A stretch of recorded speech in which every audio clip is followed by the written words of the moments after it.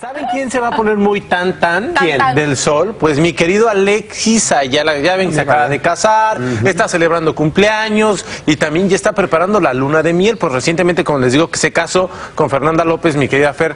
Veamos lo que compartió con nuestros amiguitos de Televisa Espectáculos. Ya saben que son re chismosos. Antes.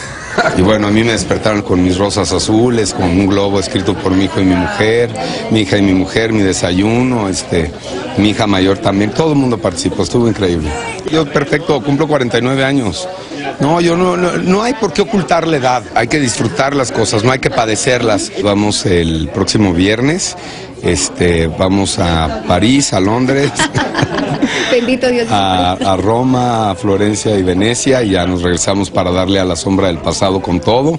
No, no, no, no vamos a buscar bebés. Si nos lo manda Dios, bienvenido, pero nosotros ya estamos conscientes de que no. Vamos a alargar entre luna de miel, cumpleaños, boda, todo. Todo ha sido como un regalo constante todos los días.